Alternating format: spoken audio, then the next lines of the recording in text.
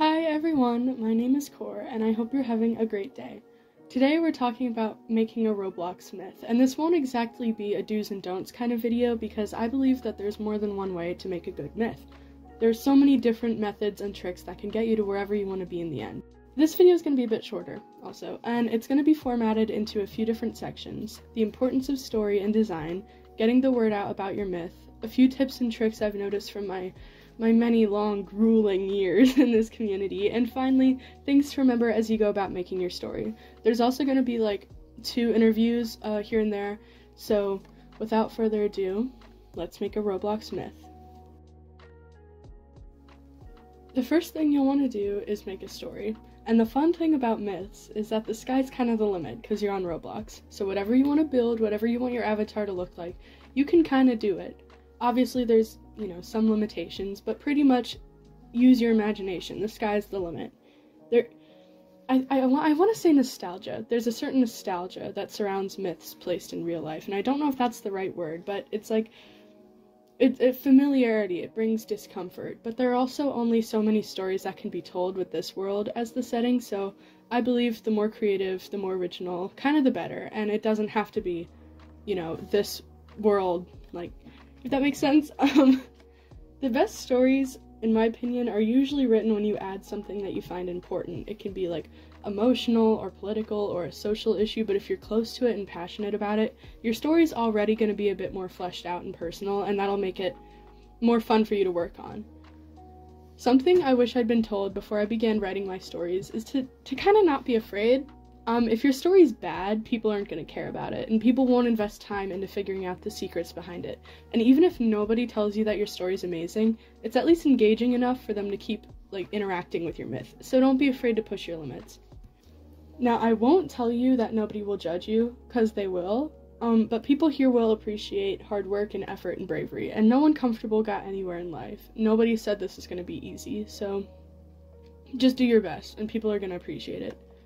Another key part of your story, I believe, is originality. Again, there are there are so many stories that have been told and successful, and so I've noticed especially with newer myths that a lot of them are kind of trying to retell the older myths like Gauze and the Colt family, but your stories can get mer- much further if you're just original and like you make your own story and they can be inspired, but like don't you know, don't don't make it about a family a cult family living in Louisiana. Like everyone knows that story already. Make your own. It'll be better. As an artist and a storyteller, design is one of the first and most important things you learn when you take classes. An entire story can be told through a character's design. Colors play a huge role in how you make your viewers, viewers feel.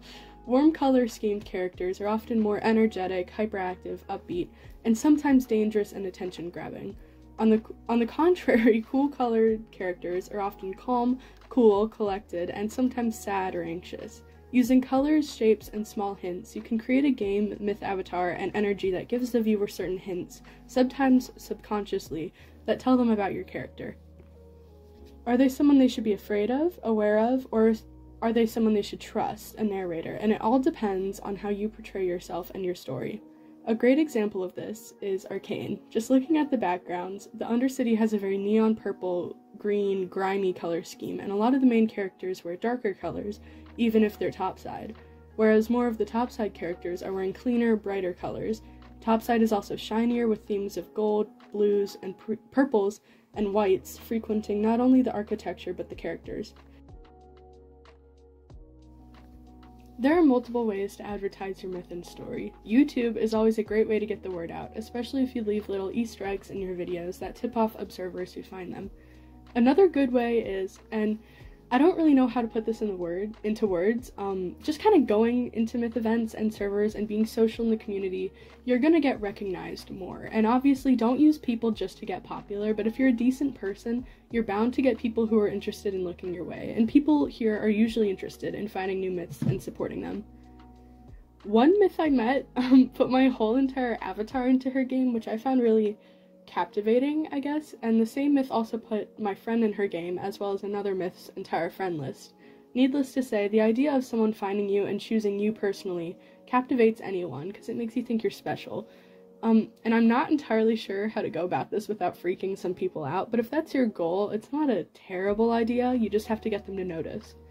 I've seen multiple myths advertised in the group recruiting plaza and games like it, but I don't really think that this is a good idea because you don't stand out in those sorts of games unless you're actively making a fool of yourself, and that, you know, that can be odd or uncomfortable and it'll drive a lot of people away.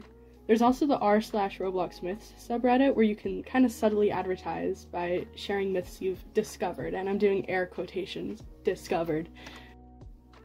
And as always, you can have myth hunters find your myth and get their greasy little hands all over it, because there are groups that hunt myth ho- host myth hunt nights. So joining them and rising the ranks as a myth is a classic way to get more eyes on you and more people hunting your myth. And advertising can seem needy and desperate if you do it too often, and if you don't do it enough, your myth is kind of gonna struggle. It's gonna struggle to lift off a little bit, and it's a really fine line to walk and an insufferable one at that. So, here, here, use my comment section as an advertising section. Like, really try to sell me. Why should we investigate your myth? What do you have to offer? How are you different from the rest? Be as obnoxious about it as possible.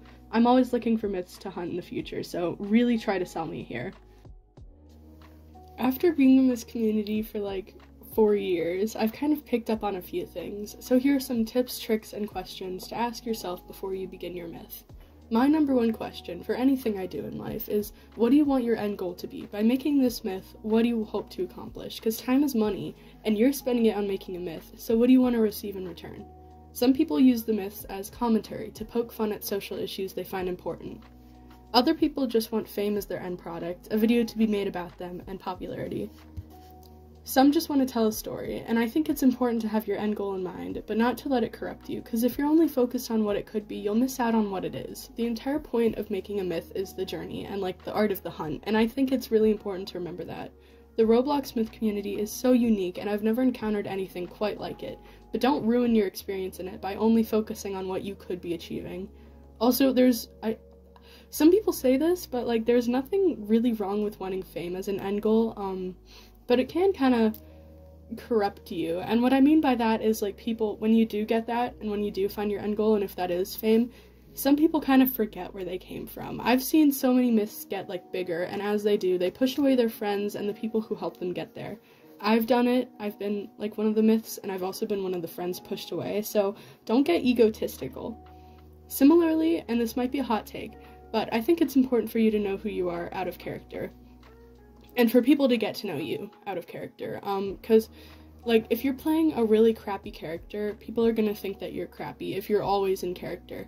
And I mean that helps create immersion, but it also makes people think that you're an asshole. So don't it, it's kind of a balance. And this might just be a me thing, but when I'm playing a character, I try to get into their minds and I think about how they'd react to stuff, how they behave, and it can be really draining to do if you're playing an angry character or a character who's like a jerk to people. So, my advo- advice to avoid burnout is to, again, separate yourself from the character. Don't get lost in it. For example, I played a character who was written to be manipulative, and I was okay at it. I was so okay at it that people mistook me for being manipulative and abusive in real life, and it got hard to kind of separate myself from the character because I was always doing events as her, and I constantly thought like her. Part of the reason why I behaved like that is because I was 11, but I also think it's just so easy to get lost in your characters. Becoming comfortable with breaking character could help you if you struggle with that, and it'll let people know that there is a person behind the character and the story you're telling. I talked to Ma Edna, the owner of Blues Bar, and asked her some questions about creating stories. What do you find important when writing characters? They need to stay connected to the story and to other characters they are associated with. Also keep in mind that most stories need to have an antagonist, protagonist, and a main character. Side characters often tell or are able to leak information about the lore and story. I agree with her. Having a good idea of where your story is heading is going to help your myth seem more polished and well done. Another tip I have is to just not be a huge asshole. Don't abuse your power because it can crash and burn as quickly as it came. And don't try to extort children that like your myth. Don't be a pedophile, obviously. And just don't be a douchebag. It's not rocket science, but I feel like so many people who get popular have gotten there by climbing a ladder that they kind of created with abuse and just being a bad person. And I can't really say much because I've also done some messed up stuff as a myth. And I believe that there's respect and forgiveness, especially if you're young. but there's a line you can easily cross that makes your actions kind of inexcusable, and it really depends on age because a lot of the people in this community are so young. And I think because of that, our community is a lot more forgiving than er- others, but if you're problematic, people are going to find out. Because screenshots are always taken and people remember things. But again, I think mistakes are always made and there's value and matur- maturity in forgiveness. Just don't be a huge asshole. It's not that hard. I talked to Uzdite, Uzdite, I don't I don't know. I've known him for a few a few minutes, a few a good while now, and I, I don't know how to pronounce his name. I'm sorry. Um, but he's the creator of the Stadbit community, and I asked him if he had any tips or tricks to keep in mind. He said, Stay true to yourself. You don't need to satisfy anyone because the whole point is to have fun. Be wary of people. I know people who are incredibly annoying and rude just because you are a myth.